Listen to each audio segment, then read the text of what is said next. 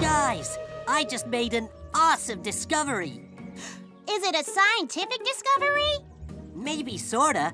I discovered this movie flyer in my back pocket. Attack of the Mutant Hamster. I've seen it five times, and it starts in 10 minutes. Kent, you're a member of the secret lab, and we're here looking for something of true scientific interest. Well, you're always saying we should look for everyday uses for science. Yes, because Mr. Edison always tells us, I readily absorb ideas from every source. Dude, it's just a squirrel. Man down, medic! Oh, that stupid rock tripped me. Wait a minute. I think Kent has found a fossil. And it could be a dinosaur fossil. It's too small. Maybe it's from a baby dinosaur. Yeah, right. Dinosaurs in New Jersey. JD, didn't you know the very first almost complete dinosaur fossil skeleton was found in New Jersey in 1858? What's a fossil anyway? It's the preserved remains or traces of animals or plants from the remote past. In a nutshell, Nikki, they're clues of past life forms from thousands or millions of years ago.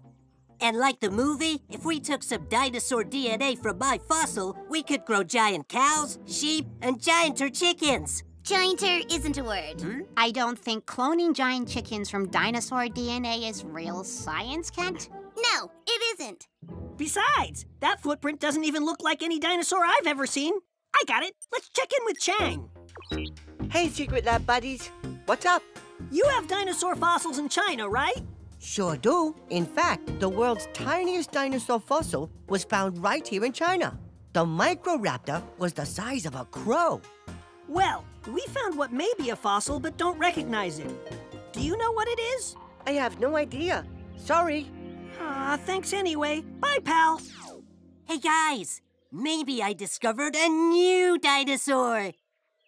Let's get back to Mr. Edison's secret lab to see if this is a real dinosaur fossil. Von Bolt, bring up Mr. Edison. Yeah, that sounds like a very good idea. Commencing Edisonian projection sequence. Presenting Mr. Thomas Edison in drei und zwei und eins. Greetings, STEAM team. Hi there. Now, what did you all discover today? Well, we might have found a dinosaur fossil. First, make sure it's a fossil, then make sure it's a dinosaur fossil. Then we're gonna use it to grow a giant chicken, just like in Attack of the Mutant Hamster. Hmm. Uh, that doesn't sound very scientific to me. And just like in the movie, we'll take the fossil and pull out the DNA, whatever that is. DNA is a molecule that has all the information about how a living thing is going to look and function. And on top of everything else, I discovered a brand new dinosaur. Hmm. I'll call it the Kentosaurus. Good thing it left its footprint for me. Left a fossil of its footprint, plus part of a bone. What the what? How did it do that? Dinosaurs had to die in just the right way to create a fossil. JD means that they had to be buried fast so they wouldn't decay, decompose, rot. Imagine if dinosaurs really talked. What did I say, Martha? Let's go to the mountains. It'll be fun. But of course, no. You said, let's go swim in Mud Lake. But you like to go swimming. Uh, we swimming? This is not swimming. This is drowning. Actually, we're not drowning yet. Technically, we're still sinking. Oh, Really? But very soon we are going to be drowning. And I have heard it is not very fun. Goodness, you complain a lot. We're going to die. I have a right to complain. Well, you don't hear me complaining. That's because you're a. Over a long, long time, the pieces of the dinosaur were squeezed and buried under layers of dirt and rock that piled up on top of it. How about we make our own homemade fossil? Or at least an impression like a fossil. Von Bolt, one cup of wet used coffee grounds, please. Yeah, of course, Mr. JD. Then we need a half a cup of cold coffee. Wait a second. I didn't finish my morning cup. Please take it. Next, a cup of flour and half a cup of salt. All these ingredients are kind of like the different minerals that are part of forming a fossil. And finally, we're gonna need one piece of waxed paper. Mix the ingredients together. Plop the dough pieces on the wax paper. Now all we need is something to make a fossil impression. Cool. How about this stuff? Perfect! Press your item into the dough, then lift it out, leaving an impression. And then let your fossil impressions dry overnight. So, what's your next step going to be, Angie? We can determine if Kent found a dinosaur fossil by seeing how old it is. It could be from the Triassic, the Jurassic, or even the Cretaceous period. Well, that sounds like an awful lot of work. Opportunity is missed by most people because it's dressed in overalls and it looks like work. Mr. Edison's right. We can find out how old the fossil is by using carbon dating. I will bring the carbon dating machine immediately. Ah, uh, okay. Carbon dating is a kind of measurement. It's used to estimate how old something is. And that's because? Carbon is a chemical element. All living things, even dinosaurs, absorb carbon 14 while they're alive. But when they die, they stop absorbing carbon 14 and it fades away. By measuring the amount of carbon 14 that's left, in what's left of the dinosaur, we can estimate the amount of time it has been dead. In other words, how old it is. Exactly! Is that old enough? Carbon 14 dating only goes back 75,000 years, uh, but my best guess is that it's a dinosaur fossil. Let's take a look at dinosaurs that have been discovered to see if I discovered a new one. Guys, this will take way too long to figure out. Nikki, our greatest weakness lies in giving up. Mr. Edison's right. The secret lab kids never give up. We've already done the first two scientific principles, measurement and testing. Next is observation. Let's observe dinosaurs in the virtual reality room! Yeah, we can match the fossil footprint and maybe even see my dinosaur. Bongo, flip on the virtual reality window. It will make me giggle with pleasure, Miss Angie.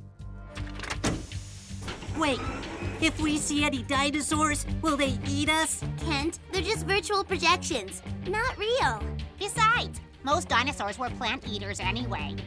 Ah, okay, I guess that makes me feel better. Next up, the prehistoric dinosaur! Wow! Yeah, double wow! Okay, let's go find our dinosaur! You mean my Kentosaurus? Nikki, the three things that are most essential to success are common sense, hard work, and stick-to-itiveness. Mr. Edison's right. What if Alexander Graham Bell had quit? we wouldn't have the telephone. Hello? What time are you coming home, Alex? I want you to hmm? bring bread, cheese, milk, asparagus spears, dragon fruit, bacon. And what if Madame Curie had quit? She wouldn't have discovered radium and x-rays. Beloved, please turn off that light. I am trying to sleep. What if Sir John Harington had quit? What did he invent? We wouldn't have the flushable toilet!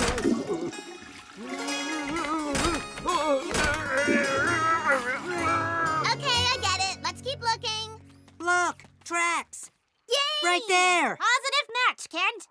Yeah, just smaller. Let's go.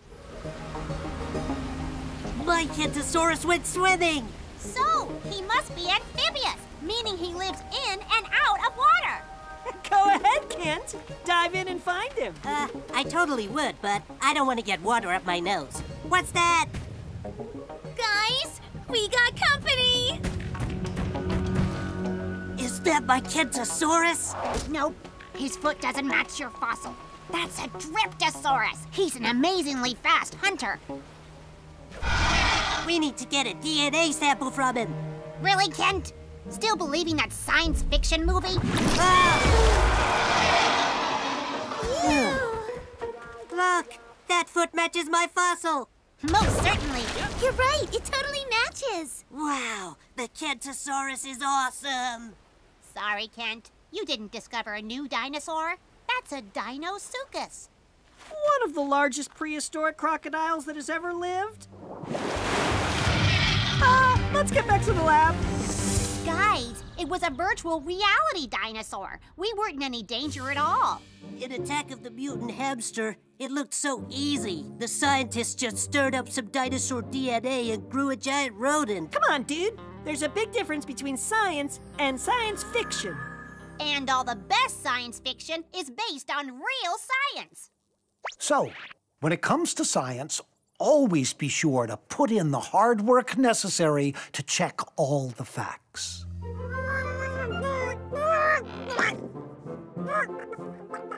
Well, it's not a total loss. Breakfast, anyone?